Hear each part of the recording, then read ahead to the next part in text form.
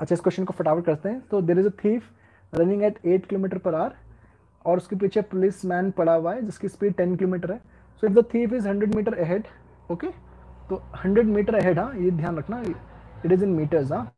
तो सिचुएशन कुछ इस तरीके की है, इस तरीके की है, ठीक है? तो हम लोग ये मानते हैं कि सपोज़ यहाँ पर यहाँ पर थीफ है, ठीक है? टी। और इस पोजीशन में पुलिस मैन है, पी। ठीक है? और थीफ कितना आगे कहीं ना कहीं हंड्रेड मीटर आगे ठीक है? जो पुलिस की स्पीड है वो है ten kilometre per our.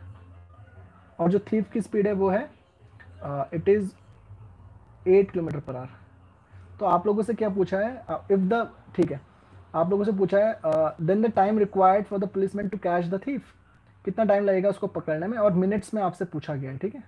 Okay तो आप इसको बहुत ईजिली कर सकते हैं। सी आप एक काम करें।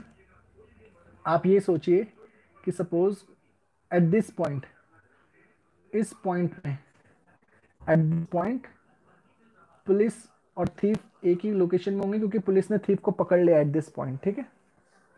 ओके तो अब आपको ये ध्यान में रखना है okay so the time taken by the police suppose this distance is इतनी इतनी अगर डिस्टेंस है suppose D metre okay distance और डिस्टेंस हम लोग टाइम भी ले सकते हैं उससे ना। और यहाँ पर क्यों? इस तरीके से फिर से, ऐसे, ठीक है? Suppose this this suppose this is the position this is the position X जहाँ पर पुलिस ने थीफ को पकड़ लिया। ठीक है? तो अगर आप देखेंगे so this is hundred metre okay कहीं ना कहीं जो थीफ है वो हंड्रेड मीटर आगे और पुलिस ने जो थीफ को यहाँ पर इस इस पोजीशन में पकड़ा है तो कितना टाइम लगा, कितना टाइम लगा पुलिस को थीफ को पकड़ने में, ये आपसे पूछ रहा है सवाल। Three minutes is the right answer बच्चे कह रहे हैं, तीन मिनट लगे चलो इसको कैलकुलेट करते हैं इट्स वेरी इजी ठीक है? तो पुलिस की स्पीड दे रखी है और आपको थीफ की स्पीड देखिए एट किलोमीटर पर आवर ठीक है? तो किस तरीके से इसको निकालेंगे? बहुत ही आसान है। Okay suppose this is X metre this distance is suppose X metre ठीक है? ओके तो जितना थीफ को एक्स मीटर ट्रैवल करने में जितना टाइम लगा है, उतना ही पी को, उतना ही पी को hundred plus X metre travel करने में टाइम लगा है। ठीक है? समझ में आ रहा है? थीफ थीफ कितना ट्रैवल कर रहा है? थीफ थीफ जो ट्रैवल कर रहा है वो कितना ट्रैवल कर रहा है, सिर्फ़ एक्स मीटर ठीक है? एक्स मीटर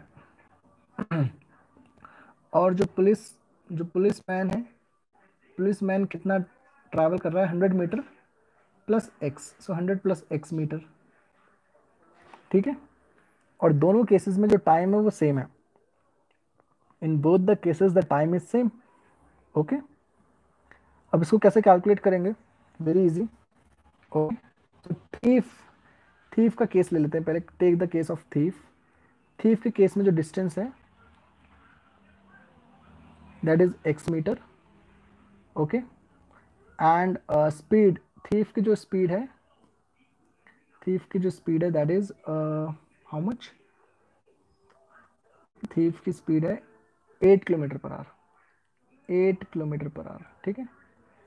अच्छा अब आपको पता ही है, अब now it is given in kilometre per hour and distance is given metre या तो आप डिस्टेंस को किलोमीटर में चेंज करें या स्पीड को आप मीटर पर सेकेंड में चेंज कर सकते हैं एज ओ विश ठीक है? So speed will be is equal to eight into अच्छा please Suresh Saini Singh please explain again अरे एक बार आप देख लीजिए, फिर आपको समझ में आ जाएगा। अच्छा थीफ का केस लिया हमने डिस्टेंस एक्स मीटर है स्पीड एट किलोमीटर पर आ रहा है। आपको चेंज करनी पड़ेगी speed into metre per second कैसे चेंज करेंगे? फाइव बाई एटीन और एटीन बाई फाइव वाला फंडा मैंने आप लोगों को बताया। So who will going to tell me Baban Sheikh is there Harsh Kumbhare who will tell me this? How to convert 8 kilometer into meter per second? Who will tell me? 5 by 18 से multiply करोगे 18 by 5 से। 5 by 18 ठीक है? क्योंकि छोटी unit है तो छोटी यूनिट को छोटे नंबर से 18 into sorry eight into five by eighteen ये आ गया मीटर पर सेकेंड ठीक है? ओके चलो। अच्छा तो यहाँ से, अब यहाँ से अगर हम टाइम निकालेंगे time will going to be how much time will going to be as you know that speed is equal to distance upon time time is equal to distance upon speed. So, x upon, ठीक है eight into five by eighteen और इसको हम ऐसे भी लिख सकते हैं। आप इसको थोड़ा सा सॉल्व भी करके या इसको हम लिख सकते हैं eighteen X upon eight five ज़ा फोर्टी ठीक है? थीफ के केस में। Getting the point very good अच्छा दूसरा केस क्या है? दूसरा केस है police man okay police man police man के केस में क्या है? What is what is in the case of police man police man के केस में आपको डिस्टेंस कितनी है? हंड्रेड प्लस एक्स डिस्टेंस है hundred plus X metres and what is the speed in the case of policemen, speed is given to you in the case of policemen 10 kilometer per hour. Okay? So, in this case, अगर हम लोग time calculate करें so time will be is equal to hundred plus X upon अच्छा you have to convert this into metre per second again ten into five by eighteen metre per second so hundred upon ten into five by eighteen that will be ये कितना आ जाएगा so this will going to give us eighteen in bracket hundred plus X upon fifty okay